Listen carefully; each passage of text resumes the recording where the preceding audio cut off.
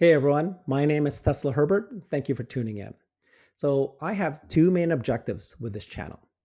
And if you're a Tesla fan or investor, I hope and I think that you're going to find this valuable as well. So, the first is I like to predict the future. Just kidding.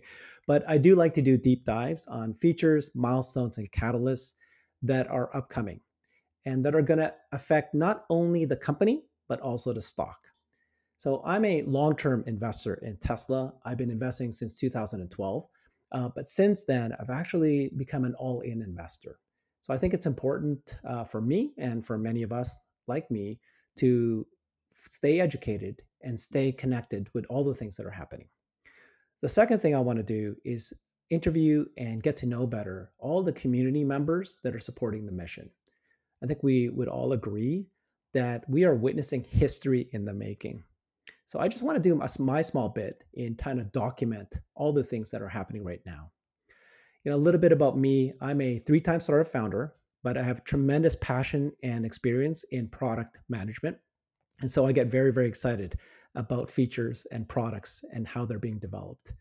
Um, in Twitter, I'm actually known as a Tesla milestones guy because I create these lists of uh, the key catalysts and milestones that are upcoming for Tesla.